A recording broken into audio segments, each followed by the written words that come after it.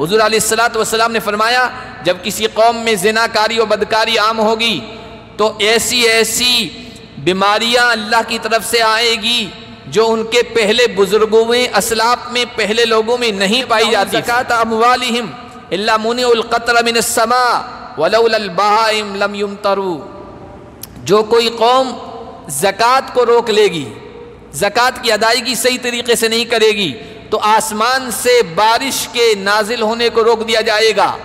और जो कुछ थोड़ी मोड़ी बारिश होती है ये चौपाइयों की वजह से अल्लाह की बेज़बान मखलूक की वजह से वलउल बहाइम और ये बेज़बान अल्लाह की मखलूक ना हो तो वो एक कतरा पानी बारिश का हासिल ना कर सके अल्लाह की तरफ़ फरमाया था।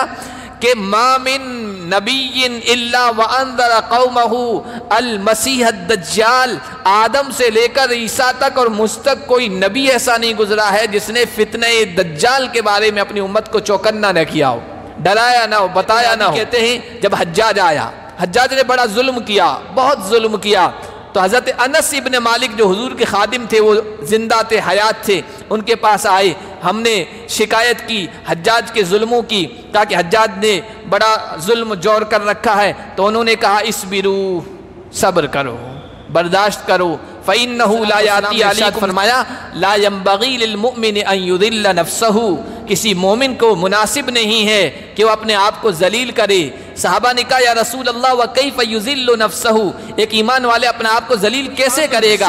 आप खुशी की खबर उनके पास पहुँचती है या डर और खौफ की खबर पहुँचती है? अजाऊ भी फ़ौर उसको फैला देते हैं, उसको आम कर देते हैं, उसको बयान करने लग जाते हैं। हालाँकि होना ये चाहिए, जो जानकार हैं, जो तजर्बेकार लोग हैं, जो गहराई का इल्म रखते हैं, उनसे मालूम करना चाहिए कि खबर सही है कि या नहीं। उसके बाद आगे बयान करना चाहिए और शेयर करना चाहिए। फितनों के ज़माने में कुरान की ये हिदायत है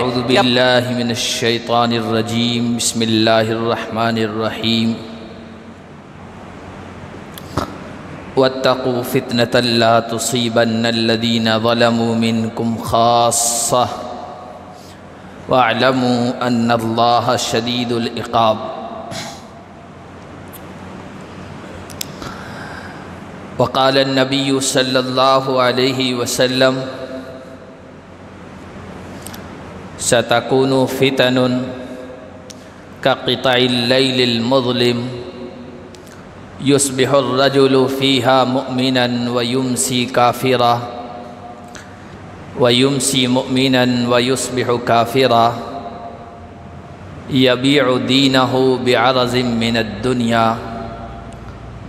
औ कमा क़ाल नबी सल्लल्लाहु अलैहि वसल्लम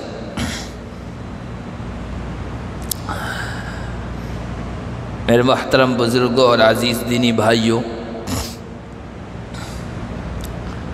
मौजूदा दौर और हालात को अगर हम देखें तो बड़ा पुराशोब, बड़ा ख़तरनाक दौर और ज़माना है, वक्त है। हर तरफ़ फहाशी और यानी फितना, फसाद कत्ल गारत गरी। वहशत और दहशत का खौफ है और माहौल है। नफसानी ख्वाहिशात पर चला जा रहा है। हिरस हवस में इंसान मुबतला है। और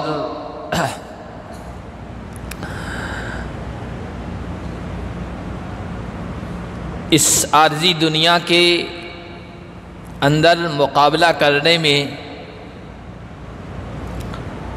आज का इंसान एक दूसरे से आगे बढ़ने की भरपूर कोशिश कर रहा है और उसके आखिरी उरूज पर नुक्ते पर है। एक तरफ़ मुसलमानों की निजी और ज़ाती ज़िंदगी को देखें तो अल्लाह की ज़ात से दूरी बढ़ती जा रही है। इंसान आज का मुसलमान आखरत की फ़िक्र से दूर होता चला जा रहा है और दीन से दूरी रोज़ बरोज़ बढ़ती चली जा रही। नमाज़ों में जो खुशु खुजू खलूस लाहियत और अखलास की कैफियत होनी चाहिए, वो आज ख़त्म होती चली जा रही है। अल्लाह और उसके रसूल की इतात का जज्बा दिलों से निकलता जा रहा है। एक तरफ़ मुसलमानों की ज़ाती ज़िंदगी है और दूसरी तरफ़ इस्लाम और मुसलमान के मुखालफन को देखें तो वो इस्लाम को मुसलमानों को निशाने पे लिए हुए हैं। हर तरफ़ उनको निशाना बनाया जा रहा है, पूरी दुनिया में देखें, मुल्की हालात देखें, दुनिया के हालात देखें, आपको यही नज़र आएँगे। हालात उस तरह के हैं जिस तरह नबी पाक सल्लल्लाहु अलैहि वसल्लम ने जिसकी तरफ़ इशारा फरमाया था। हमने अप, अपने आँखों से हम उसको देख रहे हैं। हजूर सलात वसलाम ने इरशाद फरमाया था यूशी को अंतदा अलकुमम कतदाकलतसा एक ज़माना आएगा ऐसा। दुनिया की कौमें दुनिया के लोग तुम पर ऐसे टूट पड़ेंगे जैसे भूखे लोग प्याले पर प्लेट पर टूट पड़ते तो साहबा ने अर्ज़ किया, या रसूल अल्लाह अवा मिन क़िल्लतिन नहनु यौमदिन या रसूल अल्लाह अल्लाह के रसूल, ये दुनिया की कौमें मुसलमानों पर टूट पड़ेंगी तो क्या वजह होगी उसकी? रीज़न क्या होगा? क्या हम मुसलमान तादाद में गिनती में कम होंगे? हजूर सलाम ने इरशाद फरमाया, नहीं। तादाद में तुम कम नहीं होगे, गिनती बहुत ज़्यादा होगी। हब्बुल वहन, ये वहन की वजह से होगा। तो साहबा ने पूछा रसुल्ला वहन क्या चीज़ है? का हब्बुद्दुनिया व कराहियतुलमौत दुनिया की दूसरी कौमों की तरह तुम्हारे अंदर भी दुनिया की मोहब्बत आ जाएगी और मौत की नापसंदीदगी और कराहियत आ जाएगी, जिसकी वजह से तुम्हारे अंदर बुजदली आ जाएगी। तो दुनिया की कौमें तुम पर टूट पड़ेगी। ये दुनिया के जो हालात हैं ये कोई अचंभे की, ताज्जुब की बात हमारे लिए नहीं। इसलिए नहीं है कि अल्लाह के नबी वसल्लम ने इसकी पेशिन गोई पहले से कर दी थी। क़्यामत तक आने वाले जो हालात, जो आजमाइशें, जो फितने होंगे, पेश आएँगे, अल्लाह के नबी सल्लल्लाहु अलैहि वसल्लम ने उनके बारे में उम्मत को सारा बता दिया और ने हदीस की किताबों में उन सबको महफूज कर रखा है। हज़रत उदैफ़ा रदी अल्लाह तु की रिवायत है, वो फरमाते काम फ़ीना रसूल अलैहि वसल्लम मकामन। एक मौके पर अल्लाह के नबी वसल्लम हमारे बीच में खड़े हुए, फमा का शैन यकून फ़ी मकाम ही राली का इलाक़याम उस दिन जब आप खड़े हुए हैं तो आपने क़यामत तक जो हालात पेश आने वाले थे, जो आजमाइशें आने वाली थी, जो फितने रूनुमा होने वाले थे, उनमें से हर फितने और हर हालत को बयान फरमाया। हमारे सामने रखा, हाफिज़हू मन हाफिज़हू, व नसीहू मन नसीहू जिसने याद रखा याद रखा, और जो भूल गया भूल गया। हज़रत हुजैफ़ा रदी अल्लाह उन सहाबा में से थे जिनको क़्यामत की अलामत, निशानियाँ और फितनों के बारे में सबसे ज़्यादा याद था और वो बयान किया करते थे। हालात कितने ख़तरनाक होंगे क्या क्या हालतें पेश आएगी, इंसानों को क्या कैफियतें पेश आएगी, नबी पाक वसल्लम ने उनके बारे में पूरा बताया। एक हदीस में अल्लाह के नबी वसल्लम ने बयान फरमाया यतकारबुज़मान जब ज़माना आगे बढ़ेगा, क़्यामत करीब होती हुई नज़र आएगी तो उस वक्त ज़माना करीब करीब हो जाएगा। ज़माना करीब होने का मतलब यह है कि वक्त में बरकत ख़त्म कर दी जाएगी। वक्त में बरकत महसूस नहीं होगी। हमारे असलाफ और बुज़ुर्गों ने इन 24 घंटों में ऐसे कारनामे अंजाम दिए थे जो आज हम ज़िंदगी भर अंजाम नहीं दे पा रहे उनको वक्त की कमी की शिकायत नहीं थी और हमें वक्त की कमी की शिकायत हर आदमी को देखो, वक्त का रोना रोता है, हर वक्त ही नहीं मिलता है।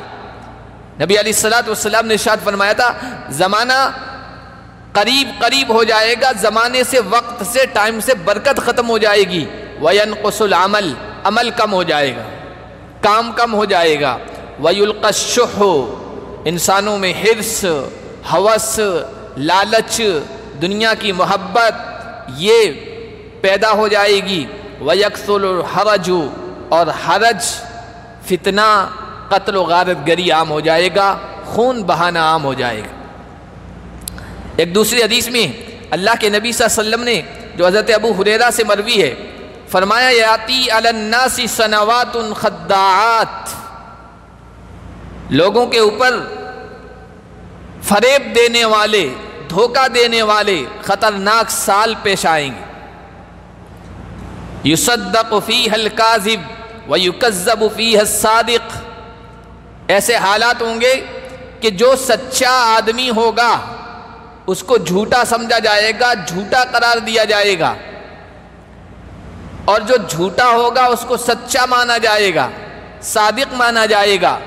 वयू तमनफ़ी हल ख़ा खाइन वयुखवनफ़ी हल मुतमन।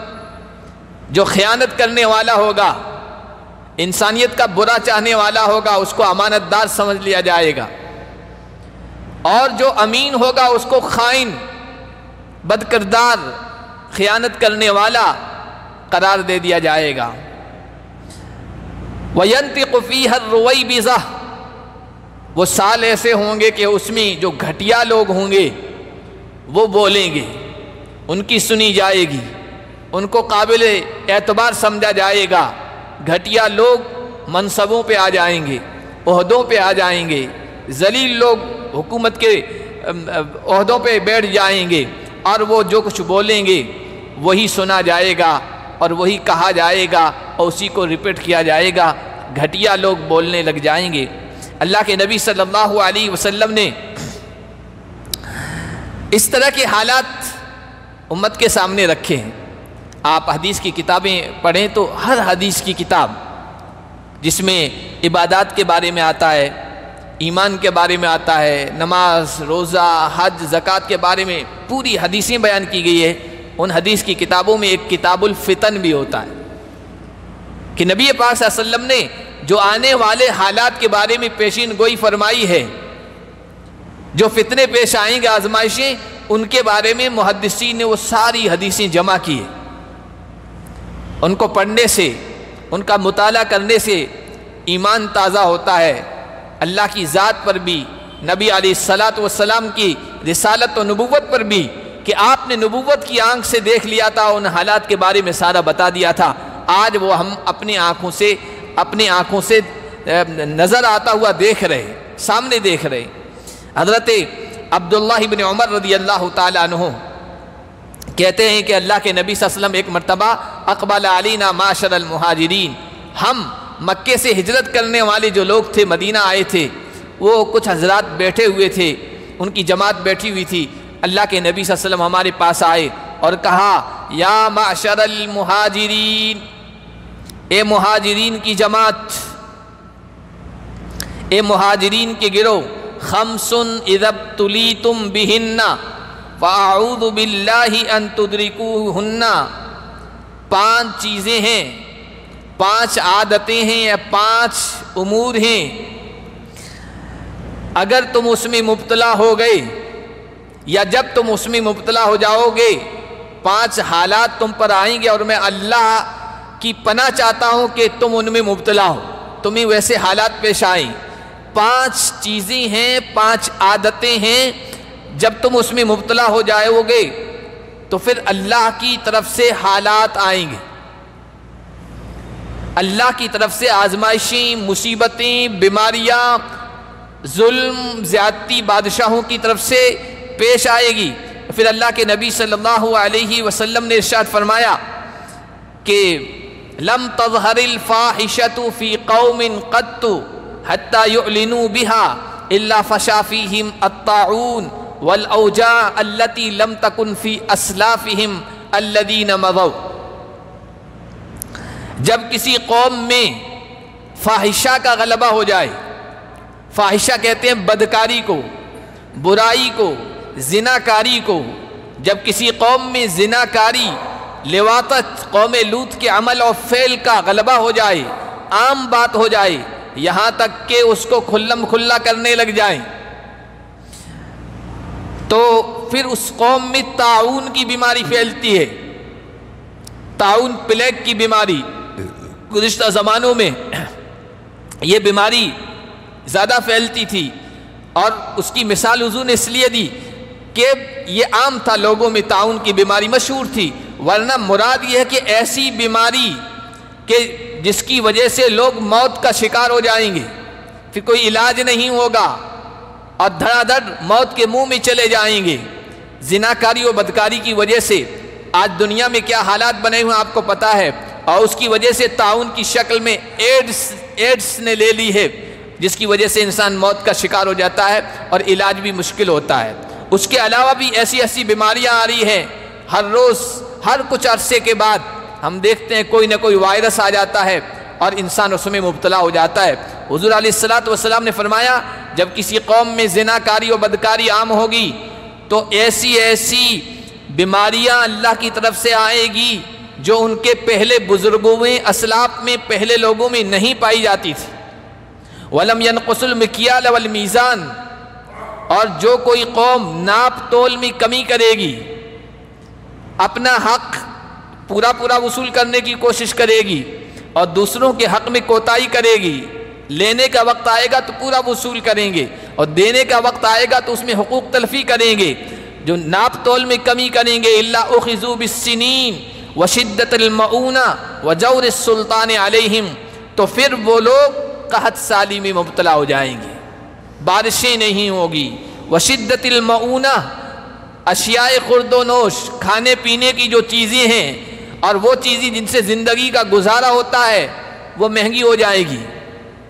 कीमती बढ़ जाएगी, उनकी कीमतें बढ़ जाएँगी और उनका ख़रीदना आम बंदों के लिए, आम इंसानों के लिए मुश्किल हो जाएगा। वजौर सुल्तान अलहिम और बादशाह का जुल्म और ज़्यादती उन पर बढ़ जाएगी। अल्लाह के नबी ने फरमाया, वलम यम नाऊ ज़क़़त अमवालिहिम इल्ला मुनक़तर मिनसमा वलम लम युम तरु जो कोई कौम ज़क़़त को रोक लेगी, ज़क़़त की अदायगी सही तरीके से नहीं करेगी तो आसमान से बारिश के नाजिल होने को रोक दिया जाएगा। और जो कुछ थोड़ी मोड़ी बारिश होती है, ये चौपाइयों की वजह से, अल्लाह की बेज़बान मखलूक की वजह से वलबहाइम और ये बेज़बान अल्लाह की मखलूक ना हो तो वो एक कतरा पानी बारिश का हासिल ना कर सकें अल्लाह की तरफ़ से। ज़क़़त जब रोकेंगे तो ये होगा, वलम यनक़ु अहदल्लाही वाहद रसूल ही अल्लाम अदुवमिन गैरहिम। और जब कोई कौम अल्लाह और उसके रसूल से किए हुए मुआहदे को तोड़ती है, वादा खिलाफी करती है तो फिर अल्लाह उन पर दूसरे दुश्मन को मुसलत कर देता है। फ़ाखू बदमाफ़ी ऐदीहिम और जो कुछ इनका मुल्क है, इनकी धरती है उनकी ज़मीन है या उनकी ज़मीन के अंदर ख़जाने हैं, सोना, चांदी, पेट्रोल, अंदर जो कीमती ख़जाना है, वो दुश्मन उसको अपने कब्ज़े में ले लेता है। अल्लाह के नबी ने फरमाया वमालम तहकुम अमत हम बिकिताब व तखैर मम्मा नज़ल्ला जासम बैनहम। जिस कौम के हुक्मरान, जिस कौम के ज़िम्मेदार, जिस कौम के बड़े, जिस कौम के ओलमा अल्लाह की किताब के ज़रिए से फ़ैसले नहीं करेंगे और जो अल्लाह ने शरीयत उतारी है, उसकी रोशनी में फ़ैसले नहीं करेंगे, गैर शरी फ़ैसले होंगे तो अल्लाह ताला उनमें आपस में झगड़े पैदा कर देंगे, आपस में इख्तलाफात पैदा कर देंगे। आज आप देखें, अल्लाह के नबी सल्लल्लाहु अलैहि वसल्लम ने ये जो हालात बयान फरमाए थे, आज के हालात पर फिट बैठ रहे हैं कि नहीं बैठ रहे आज के हालात के मुताबिक ये सारी बातें पेश समझ में आ रही है कि नहीं आ रही है? फितने ऐसे ख़तरनाक, हालात ऐसे ख़तरनाक होंगे अल्लाह के नबी ने फरमाया कि अक्लमंद इंसान, समझदार इंसान की अक्ल भी हैरान रह जाएगी, क्या करे, क्या न करे। फरमाया कि इंसानों की हालत ऐसी हो जाएगी असाबिरफ़ी हिमाला दीन ही कल काबिज जमरा। हालात इतने आजमाइशों वाले होंगे कि दीन पर जमने वाला अपने दीन पर चलने की कोशिश करने वाला, ऐसे होगा जैसे अपनी हथेली में अंगारे को या आग की लिपट को पकड़े हुए वो कितना मुश्किल होता है, दीन पर चलना इतना मुश्किल हो जाएगा। और इतने खौफनाक हालात अल इबादत फिल हरजी का हिजरत इलैया, हरज, जैसा कि ऊपर आया मैंने बताया कि कत्ल गारत गिरी खौफ, वहशत, दहशत का जब माहौल होगा, उसको हरज कहते क्या कि ऐसे माहौल में इबादत करना बहुत मुश्किल होगा। जो इबादत करेगा, उसको ऐसा सवाब होगा जैसा मेरी तरफ़ हिजरत करने का सवाब अपने मुल्क को, वतन को जमे जमाए कारोबार को छोड़ना कोई आसान काम होता है। साहबा ने की हिजरत की तो हिजरत करने की तरह उस माहौल में इबादत करना होगा। और ऐसे डगमगा देने वाले, हिला देने वाले हालात होंगे अल्लाह के नबी ने फरमाया, एक आदमी गुजरेगा, जा रहा होगा, कब्रिस्तान बीच में पड़ेगा, कब्र होगी, उसके पास से गुजरेगा तो वो कहेगा, या लई तनी कुन तो मकान हादल कब्र। हालात कितने ख़तरनाक हो गए हैं। काश मैं इस कब्र वाले की जगह होता। इस दुनिया से चला जाता, इन हालात को न देखता। और नबी सलाम ने इर्शाद फरमाया, दीन नाम की कोई चीज़ बाकी नहीं रहेगी। ईमान नाम की कोई चीज़ बाकी नहीं रहेगी। लोग दीन और शरीयत पर मामूली मामूली मफाद के लिए, फ़ायदे के लिए अमल करना छोड़ देंगे। यहाँ तक कि दीन को खैराबाद कह देंगे। दीन को, ईमान को छोड़ देंगे। युसबिहरजुलफ़ीहा मुमिन वयुमसी कामवीरा। वयुमसी मुमिन वयुसबिह काफिरा। सुबह को एक आदमी सुबह करेगा ईमान की हालत में, लेकिन शाम होते होते वो काफिर हो जाएगा। और शाम को मोमिन होगा, लेकिन हालात ऐसे बनेंगे कि सुबह जब करेगा तो वो कुफर की हालत में चला जाएगा, कुफर को इख्तियार कर लेगा। किस वजह से? हजूर सलाम ने शाद फरमाया यबीदीन दुनिया।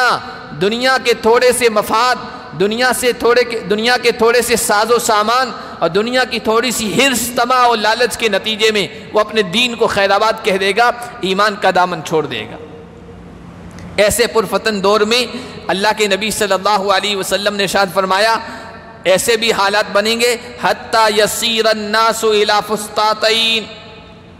लोग, पूरी दुनिया के लोग दो खेमों में बढ़ जाएँगे, दो गिरोहों में, दो पार्टियों में।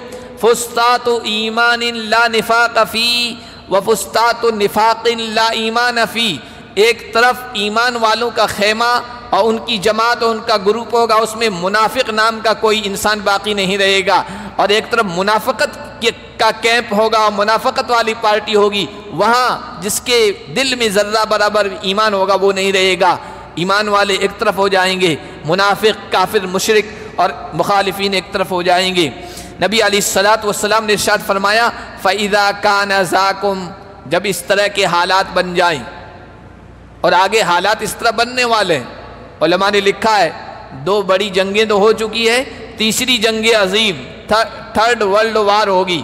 उसमें यही कैफियत पेश आएगी। एक तरफ़ खालिश ईमान वाले होंगे और दूसरी तरफ़ खालिश कुफर वाले मुनाफ़त वाले और इस्लाम मुसलमानों के मुखालफी होंगे।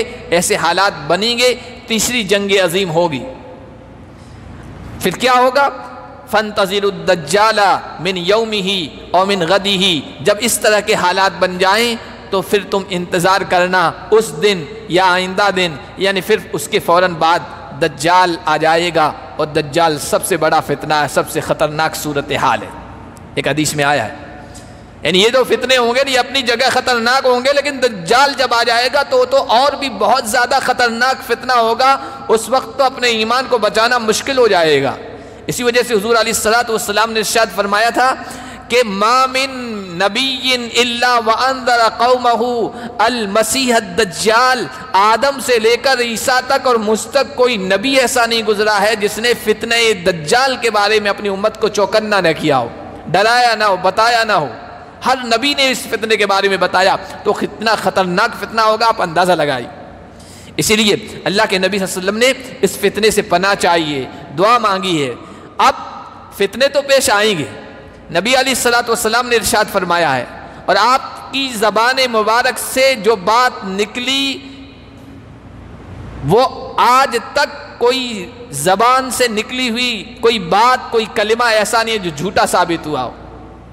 सारे फितने, सारे हालात क़्यामत की निशानियाँ एक एक करके हम अपने आँखों से देखते जा रहे हैं। तो ये तो हालात पेश आएँगे, ये आजमाइशें आएँगी, मुसीबतें आएँगी, फितने आएँगे, लेकिन उसमें कौन सा रास्ता इख्तियार किया जाए? मुसलमान क्या रवैया अपनाए? उसका इलाज क्या है? और कौन सा रास्ता है जिसकी वजह से वो फितनों से बच जाएगा? तो वो भी अल्लाह के नबी सल्लल्लाहु अलैहि वसल्लम ने बयान फरमा दिया है। सबसे पहली बात, फितनों के, फितनों का ज़माना है, फितनों के हालात हैं और आगे और संगीन मामला हालात होते चले जाएँगे। सबसे पहली बात है वो एक ईमान वाले के लिए है कि अल्लाह की ज़ात पर उसका यकीन होना चाहिए। और इस बात का यकीन कि दुनिया में जो कुछ पेश आ रहा है, जो कुछ हो रहा है वह अल्लाह की मर्ज़ी से, अल्लाह के इरादे से, अल्लाह की मशीयत से हो रहा है। उसके इरादे के बगैर एक पत्ता इधर से उधर नहीं हो जाता है, एक ज़र्रा इधर से उधर हरकत नहीं करता है। व इन दहू मफातिलगैब लायालमुहा ये जो गैब की चीज़ें हैं, गैब की कुंजियाँ हैं, आइंदा आने वाले हालात हैं, ये सब इसकी जानकारी, इनका इल्म अल्लाह के पास है। लायालमुहा अल्लाह के अलावा कोई उसको नहीं जानता, उनको नहीं जानता है। वयालम माफिल बर्र वल बहर, जो कुछ खुशकी में हो रहा है, जो कुछ खुशकी में है, जो कुछ समंदर में है या हो रहा है, वो उसको भी जानता है। वमा तस्कुत में वरक़तलमहा वला हब्बतिन फ़ी ज़ुलुमातिल-अर्ज़ वला रत्ब वला याबिसिन फ़ी किताब मुबीन। कोई पत्ता कोई पत्ता नहीं गिरता है, कोई जर्रा इधर से उधर नहीं होता है, कोई दाना ज़मीन में नहीं है कोई खुश्क, कोई तर चीज़ ऐसी नहीं है, मगर अल्लाह के इल्म में है, अल्लाह की खुली हुई किताब में है। अल्लाह सब जानता है। तो सबसे पहला हमारा यकीन होना चाहिए, जो हालात पेश आ रहे हैं, जो हालात आइंदा पेश आएँगे, ये अल्लाह के इरादे से ही हो रहे हैं। अल्लाह की ज़ात पर यकीन होना चाहिए। दूसरी चीज़, अच्छी और बुरी तकदीर। तकदीर का मतलब अल्लाह की तरफ़ से अच्छे और बुरे हालात जो पेश आ रहे हैं, जो फैसले हो रहे हैं, इस पर भी हमारा ईमान होना चाहिए। वलकद्र खैरी ही वशर ही ईमान जिन चीज़ों पर लाना ज़रूरी है, उसमें यह भी है, अच्छी और बुरी तकदीर पर, अल्लाह के अच्छे और बुरे फैसलों पर हमारा ईमान है। और जब ईमान है तो फिर ईमान के साथ, सब्र और बर्दाश्त के साथ उनका मुकाबला करना चाहिए। हज़रत ज़ुबैर बिन आदि कहते हैं, जब हज्जाज आया, हज्जाज ने बड़ा जुल्म किया, बहुत जुल्म किया तो हज़रत अनस इबन मालिक जो हुजूर के खादिम थे, वो ज़िंदा थे, हयात थे, उनके पास आए हमने शिकायत की, हज्जाज के जुल्मों की कहा कि हज्जाज ने बड़ा जुल्म ज़ोर कर रखा है तो उन्होंने कहा इस बिरू सब्र करो, बर्दाश्त करो फ़ैन लायाती अलीकुम ज़मान वल्लदी बाद शर्रमिन हो इसलिए कि ये ज़माना है, जिसके जुल्म की तुम शिकायत कर रहे हो, आइंदा आने वाला हर वक्त, हर लम्हा बाद में आने वाला, इससे भी ज़्यादा बुरा होगा। हत्ता तलक़ रब्बकुम, यहाँ तक कि तुम्हें अपने रब से जाके मिलो। और फिर फमाया समी तो हूँ मिन नबी ये जो बात मैं कह रहा हूँ, अपनी तरफ़ से नहीं कह रहा हूँ, तुम्हारे नबी मोहम्मद मुस्तफ़ा से मैंने ये बात सुनी है। हर आने वाला ज़माना बाद के हालात, वो पहले से बद से बदतर, बुरे से बुरे होंगे। तो उसमें क्या करना है? सब्र करना है, बर्दाश्त करना है। और नौजवान याद रखें, जज्बात में आकर कोई हरकत, कोई काम ऐसा नहीं करना है जिसमें अपने आप को आजमाइश में डाल ले हालात जुल्म बढ़ता है, ज़्यादती बढ़ती है, मायूसी बढ़ती है तो बहुत सारे नौजवान जज्बात में आकर उल्टी सीधी हरकतें करते हैं। जज्बात में आकर कोई ऐसा काम नहीं करना है जिसकी वजह से बड़ी मुसीबत और आजमाइश में मुबतला हो जाएँ। हजूर सलाम ने इर्शाद फरमाया लायम्बगीमिन नफसहू। किसी मोमिन को मुनासिब नहीं है कि वह अपने आप को जलील करे। साहबा ने कहा, या रसूल अल्लाह व कई फ़युज़िल्ल नफसहू? एक ईमान वाले अपने आप को जलील कैसे करेगा? आपने फरमाया तज़ुलबलाई लिमादा युतीक़ वह अपने आप को ऐसी आजमाइश में डाल देता है जिसको वो बर्दाश्त नहीं कर सकता है। जोश जज्बे में आकर तो कुछ कर देता है, लेकिन बाद में आजमाइश ऐसी है जो नाकाबिल बर्दाश्त होती है। तो जज्बात में आकर, हालात से घबरा कर कोई ऐसा काम भी नहीं करना चाहिए, कोई ऐसी हरकत के जिसकी वजह से बड़ी आजमाइश का सामना करना पड़े। तीसरी चीज़ अल्लाह के नबी ने जो हमें सिखाई है फितनों के ज़माने में, वो ये कि फ़ितनों से अल्लाह की पना मांगे। अल्लाह के नबी खुद पना मांगा करते थे अल्लाह आउदुबिका मिन गलबतिद्दीन व गलबतिलादू व शमाततिलादा ये, अल्लाह, मैं तेरी पना चाहता हूँ कर्ज के गलबे से, कर्ज के दबाव से और दुश्मन के दबाव से और इस बात से कि दुश्मन मेरी मुसीबत पर खुशी का इजहार करें, हंसें, ऐसे हालात मेरे न बने, इसकी मैं पना चाहता हूँ। ये दुआ है अल्लाह से, ये दुआ भी मांगते रहना चाहिए। फितनों के ज़माने में अपनी ज़बान को भी काबू में रखना चाहिए। हजूर सलाम ने इर्शाद फरमाया था अम सिक अली का लिसानक अपनी ज़बान को काबू में रखो। और सिर्फ़ ज़बान ही नहीं, आजकल ज़बान आजकल ज़बान कीबोर्ड भी हो गया है। मोबाइल का कीबोर्ड, जिस पर कुछ कमेंट करते रहते हैं, तबसरा करते रहते हैं उल्टा पुल्टा तबसरा कर दिया, ये भी एक ज़बान की शक्ल है आज, नई ज़बान की शक्ल है। और फिर हालात आ गए, आप पर आजमाइशें आ गई। ज़बान को काबू में रखो और कोई अच्छी खबर हो या बुरी खबर हो, खुश कर देने वाली खबर हो या गम कर देने वाली खबर हो, बगैर तहकीक के उसको आगे न फैलाओ। आम बात हो गई अच्छी खबर अच्छी खबर है। बज़ाहिर खुशी खुशी दे रही है, इस्लाम और मुसलमानों को खुश कर देने वाली है, लेकिन हकीकत से उसका कोई ताल्लुक नहीं।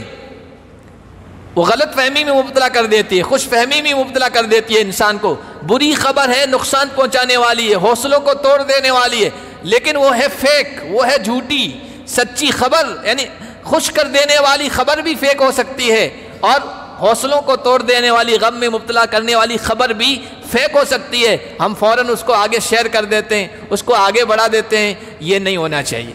फितनों के ज़माने में अपनी ज़बान को काबू में रखना चाहिए और बगैर तहकीक के कोई चीज़ आगे नहीं बढ़ानी चाहिए, उसको न ज़बान से बोलना चाहिए, न उसको शेयर करना चाहिए। कुरान ने हमें हिदायत दी है कि इदा जाम अमरमिन अमन अबिल खौफ अदाऊ भी मुनाफिकीन की हालत ये बताइए, जब कोई अमन, सुकून, खुशी की खबर उनके पास पहुँचती है या डर और खौफ की खबर पहुँचती है, अजाऊ भी फ़ौर उसको फैला देते हैं, उसको आम कर देते हैं, उसको बयान करने लग जाते हैं। हालाँकि होना ये चाहिए, जो जानकार हैं, जो तजर्बाकार लोग हैं, जो गहराई का इल्म रखते हैं, उनसे मालूम करना चाहिए कि खबर सही है कि या नहीं। उसके बाद आगे बयान करना चाहिए और शेयर करना चाहिए। फितनों के ज़माने में कुरान की यह हिदायत है कि अपनी ज़बान को और अपनी उंगलियों को काबू में रखें और अपनी असलाह करते रहना चाहिए।